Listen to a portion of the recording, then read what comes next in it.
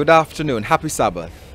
Well, we have with us Pastor Michael Henry, and he is the Director of Education at the Jamaica Union Conference of Seventh day Adventists. And at this time, he will share with us some important points or thoughts on Christian education, especially Seventh day Adventist Christian education. The future generation.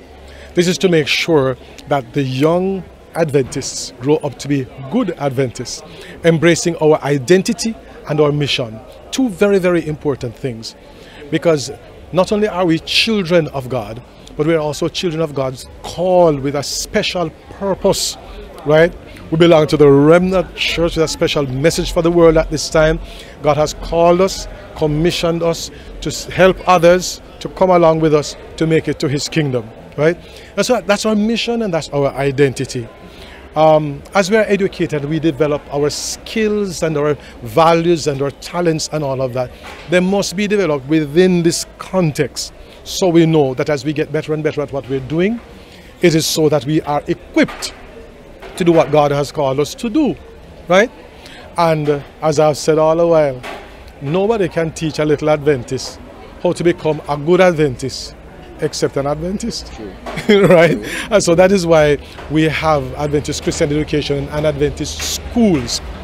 But at this time, when the world has got to where it is, when corruption and vice on every side, where in the books we take evolution for granted, where we redefine what a family is, and so on and so forth. If we needed Christian education and Adventist Christian education up to this point, it is now that we need it. And this is a time when every Adventist parent should be seeking to pull their children away from these negative influences and to allow them to be influenced towards the kingdom. So that is the importance of Adventist education at this time. And I know I'm chatting a lot, but let me just say one final thing, and that is this. When the parents in Israel, uh, well, sorry, the Israelite parents in Egypt were told that the destroying angel would be passing through at midnight, they made sure they brought all their children under the roof where the, the, the, the, the blood was plastered. Bring them under the blood.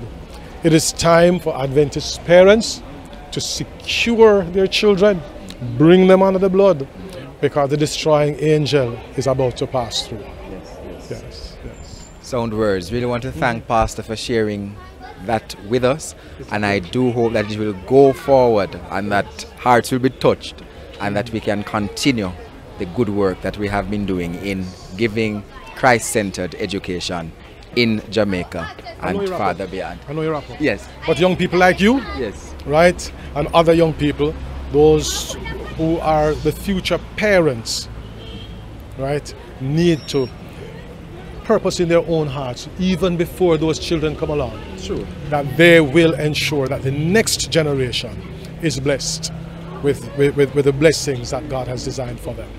Amen. I need to add anything more. Thank you so much for tuning in and God bless. This program was brought to you by the May Pen Seventh day Adventist Church. You may find more at Maypen SDA at youtube.com or by following us on Facebook at Maypen SDA Church. Please don't forget to like, share, and subscribe. Thank you.